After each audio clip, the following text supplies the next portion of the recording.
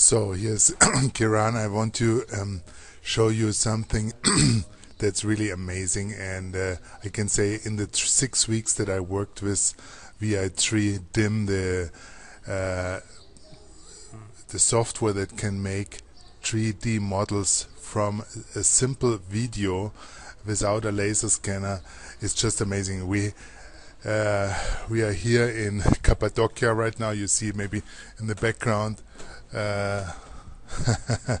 here in in the in in the top you see even caves.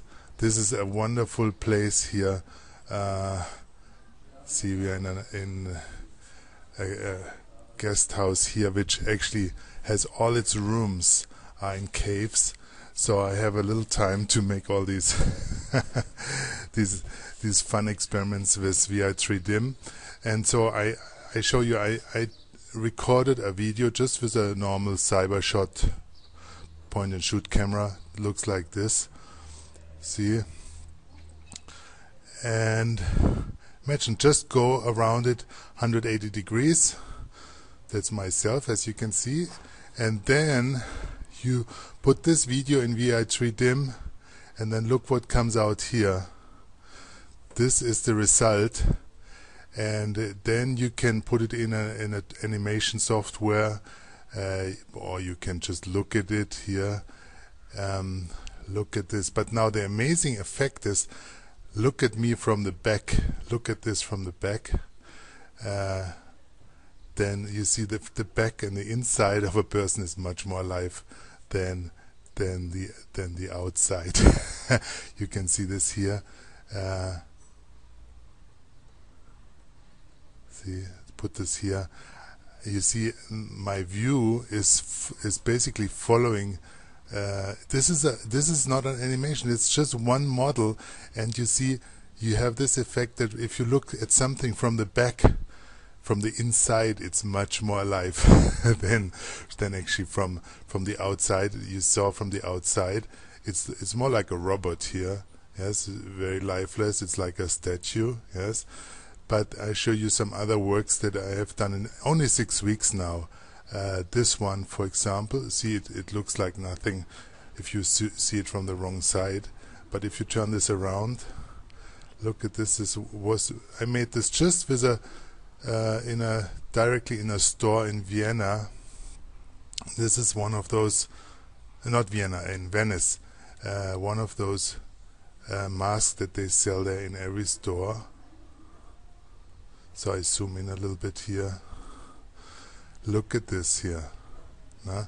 And the amount of detail that you can get. And actually each movie that you take is only like uh, 10 seconds. Yes? Or let's look another one. What is, whoops. So you see, it looks. This looks from the from the side, Yes, and then if I turn this to the front here, look at this is another mask. Let's zoom in a little bit. Yeah, and look at this here. Feather. And it's just a mask hanging on the wall in the shop. And then again, if you turn this around, you have the same effect that it actually looks at you from from every every angle. Yes. Okay, let's go somewhere. Another one here. This one. See, this was a statue I made. Actually, it was one of the first things I made in my house.